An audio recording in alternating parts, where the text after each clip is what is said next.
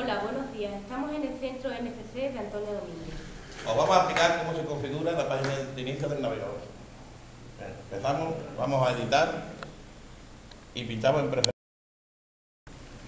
La vamos a página de inicio, borramos la que esté puesta y queremos meternos, por ejemplo, en Google. Pinchamos en Google y damos a cerrar.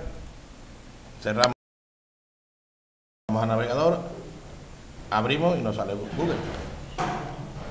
Recordar que siempre tenemos que dejar mm, http punto barra barra. Feliz Navidad.